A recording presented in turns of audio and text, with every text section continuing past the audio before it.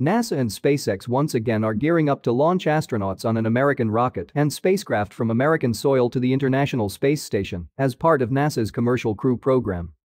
NASA's SpaceX Crew 3 is the third crew rotation mission that will carry an international crew of four astronauts on an expedition to the microgravity laboratory. Let's discuss the mission in detail. Last year, NASA and the European Space Agency selected four astronauts to serve as crew members for NASA's SpaceX Crew 3 mission. The crew consists of NASA astronauts Raja Chari and Tom Marshburn, who will serve as commander and pilot respectively, and ESA astronaut Matthias Maurer and NASA astronaut Kayla Barron, who will serve as mission specialists. This will be the first space flight for Raja Chari, who became a NASA astronaut in 2017. He is a colonel in the US Air Force and joins the mission with extensive experience as a test pilot. Also, Chari is a member of the Artemis team eligible for assignment to a future lunar mission. Tom Marshburn is a North Carolina native who became an astronaut in 2004.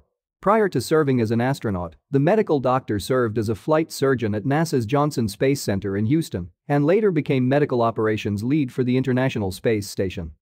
The Crew 3 mission will be his third visit to the space station and his second long-duration mission.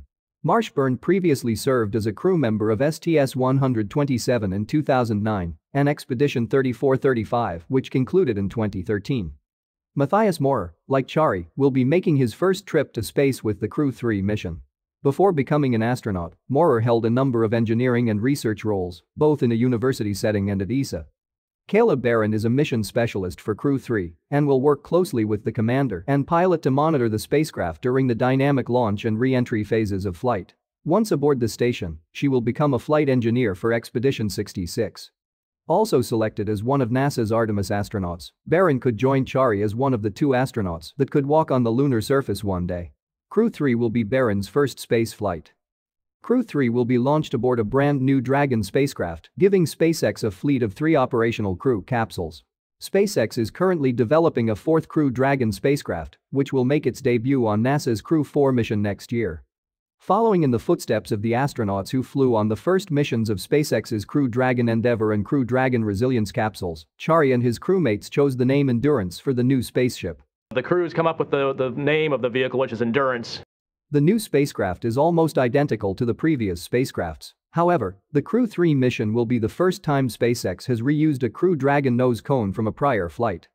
There are also software upgrades to guard against radiation impacts on communications systems while the spacecraft is docked at the space station. SpaceX also added more cleaning techniques to cut down on foreign object debris and introduced computer changes to improve their performance during re-entry. Engineers also tweaked the spacecraft's docking procedures and mechanisms to reduce hardware interference on the station's side of the interface. After a glitch with the waste management system on the Crew Dragon Resilience spacecraft flown on the Inspiration 4 mission last month, SpaceX created and applied a fast fix to the Dragon toilet on the new capsule. After months of training at NASA facilities and a 10-day official quarantine period, the crew arrived at Kennedy Space Center in Florida on October 26 to undergo final preparations before launch. Lifting off from Launch Pad 39A on a Falcon 9 rocket on October 31, Crew Dragon will accelerate its four passengers to approximately 28,000 km per hour and put it on an intercept course with the International Space Station. The Falcon 9 first stage used to launch this mission, Booster B1067, flew previously on SpaceX's 22nd commercial resupply mission to the station in June 2021. Once in orbit, the crew and SpaceX mission control will monitor a series of automatic maneuvers that will guide the Crew 3 astronauts to their new home in orbit at the forward end of the station's Harmony module. After a 22-hour journey, Crew Dragon will be in position to rendezvous and dock with the space station on November 1. The spacecraft is designed to dock autonomously, with the ability for astronauts aboard the spacecraft to take control and pilot manually if necessary after successfully docking, the astronauts of Crew 3 will be welcomed to the station by the Expedition 66 crew, including the Crew 2 astronauts still aboard. The Crew 3 astronauts will spend approximately six months aboard the International Space Station conducting new and exciting scientific research in areas such as materials science, health technologies, and plant science to prepare for human exploration beyond low Earth orbit and benefit life on Earth. During their stay aboard the orbiting laboratory, astronauts of Crew 3 will see cargo spacecraft including the SpaceX Cargo Dragon in December and the Northrop Grumman Cygnus in early 2022. They will also welcome two different private crews to the station, including Japanese tourists aboard a Russian Soyuz spacecraft at the end of 2021 and the Axiom Mission 1 crew, the first private astronaut mission to the International Space Station, scheduled to launch no earlier than 21 February 2022. The Crew 3 astronauts are scheduled to conduct a series of spacewalks to outfit the station's power system in preparation for new solar arrays that will increase the station's total available power supply. At the conclusion of the mission, Crew Dragon will autonomously undock with the four astronauts aboard, depart the space station, and re-enter Earth's atmosphere.